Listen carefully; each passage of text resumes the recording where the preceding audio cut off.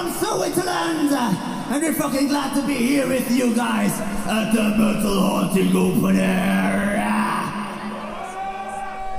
We brought to you some old school fresh metal. This next song is called The New Face of Hell.